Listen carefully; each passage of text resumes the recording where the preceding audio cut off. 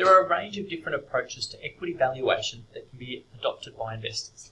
In this learning objective, we describe those various approaches.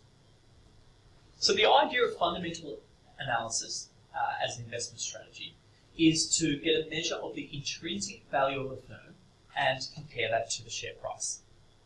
We look at the intrinsic value of the firm by assessing its current and future profitability.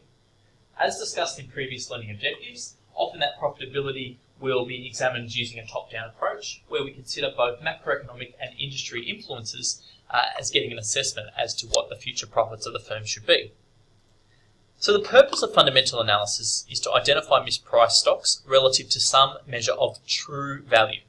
The key, the key question or the key challenge is to ask how we actually come up with that true value measure. Now, there are many investors who would argue that this approach to investing doesn't have merit, uh, although we have to be a little bit cautious when uh, we warn against uh, valuation. So, an, example is Henry Blodget, a Merrill Lynch equity research analyst in January 2000, uh, stated that valuation is often not a helpful tool in determining when to sell hypergrowth stocks. So, obviously, at the time he was making this statement about a company called uh, Internet Capital Group, uh, and this was right in the middle of the dot com bubble.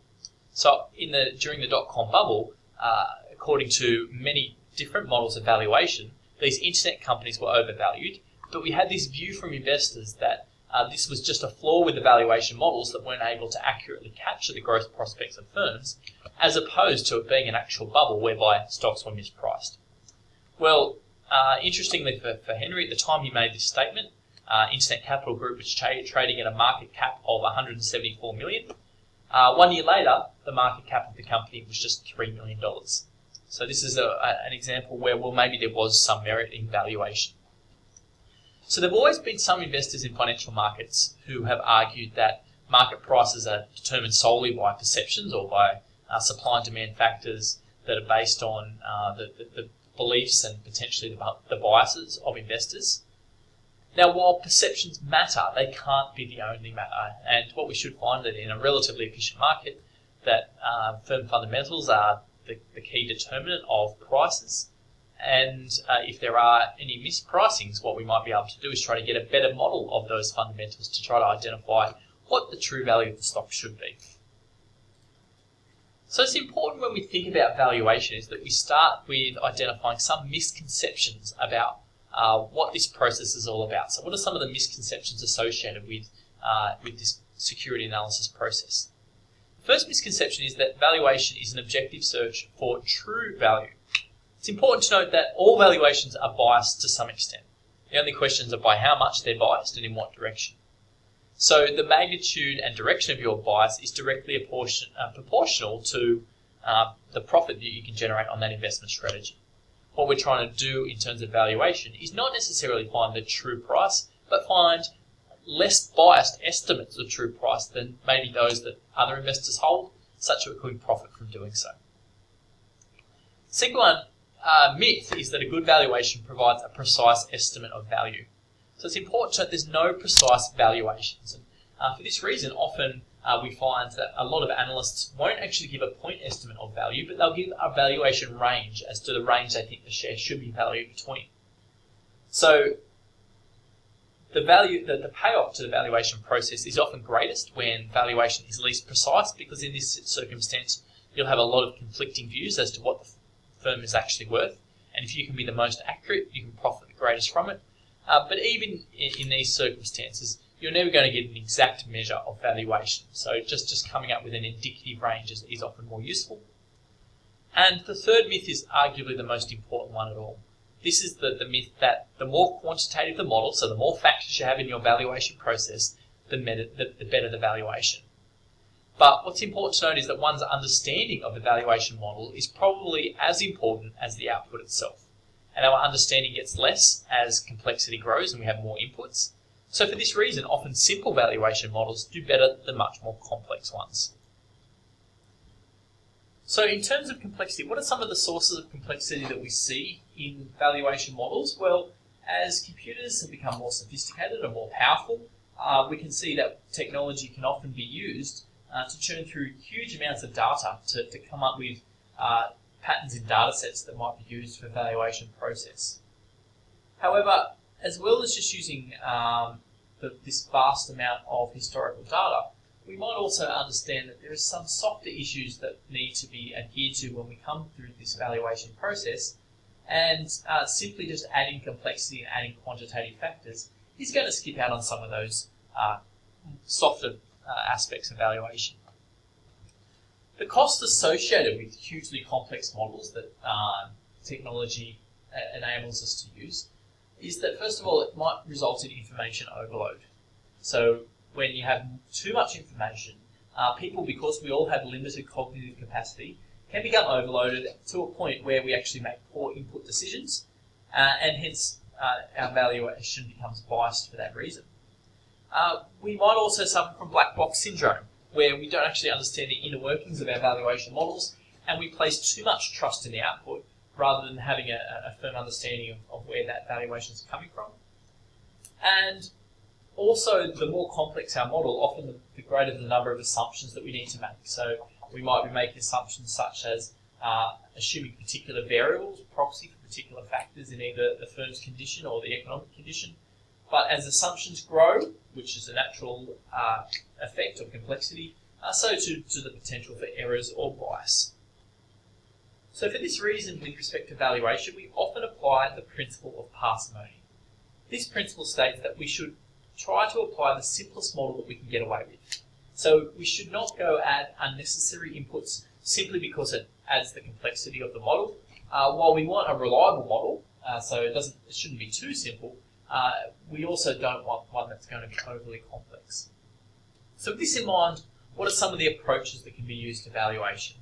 Well, there's three key approaches that are adopted, and uh, we're going to look at all three of them. The first is the discounted cash flow valuation.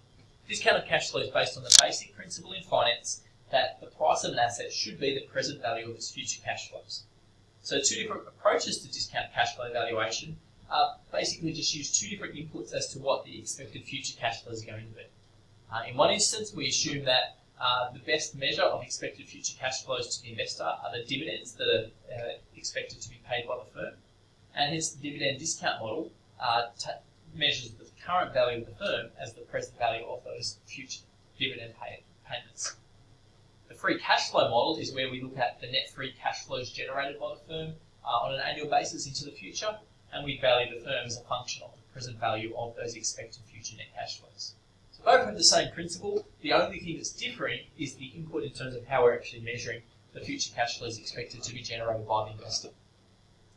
Sometimes, however, it can be quite difficult to get expected future dividend or, or net cash flow forecasts. So we might look for a more simple method of valuing a firm, and relative valuation enables us to do this. The idea of relative valuation is it enables you to come up with an estimation of the value of an asset by looking at the price uh, up against some comparable asset uh, with similar features. So relative valuation is quite commonly used in the real estate industry. We know that when a real estate agent will give an indicative value of what a property is worth, they'll consider like properties from the area and what they've sold for in the past. Same thing can apply in terms of uh, valuing stocks. We can look at stocks that have similar characteristics in terms of things like earnings, cash flows, book value, or sales, and we can compare the market value of those two firms. And in fact, uh, a trading strategy known as pairs trading is one where an investor will look at two firms that, that are very much matched in terms of those financial characteristics and buy or sell those shares as their as their relative prices change through time, uh, considering them to, to be uh, substitutes for each other, so constantly buying the one that's cheaper and selling the one that's more expensive. Finally, we can use contingent claim valuation. Contingent claim valuation using uses option pricing models. The idea here is that you can think of the value of shares as being a real option, and therefore we can use option pricing models to come up with uh, a measure of, of what we think that real option should be worth. Just going to slightly more detail. Uh, in terms of the dividend discount model, we said before, uh, we know that um, we can use it only the, for those firms that pay a regular dividend. So this model uh, doesn't work if we've got, for example, a non-dividend paying stock. Um, so one requirement is that it's useful for firms with regular dividends, and also we want those regular dividends to be an amount that is close to the free cash flow to equity of the firm. So we want a, quite a large payout ratio. Dividend discount model is also useful for firms where free cash flows are difficult to estimate. So a, a good example here are banks and financial service companies. These companies pay high dividends. Future forecasts of free cash flows are, are hard to come up with, so the dividend discount model tends to be the best approach.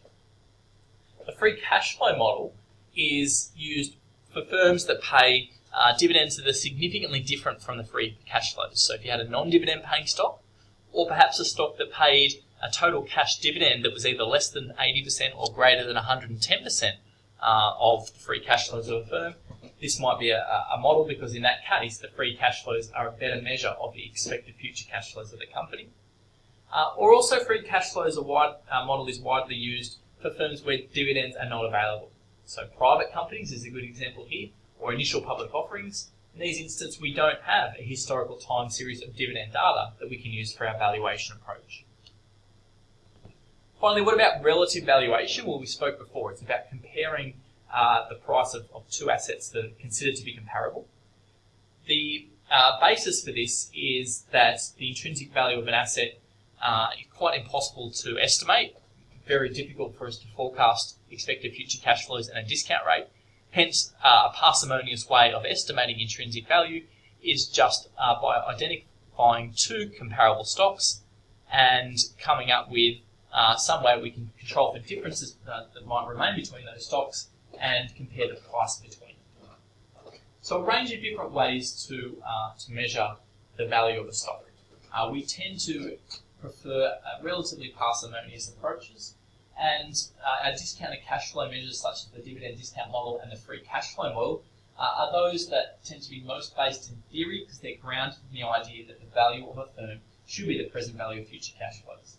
And we do have some alternative measures of valuation, such as relative valuation, that are going to be useful in some instances where it's very difficult to come up with those future forecasts that are required as inputs into our, our discounted cash flow measures.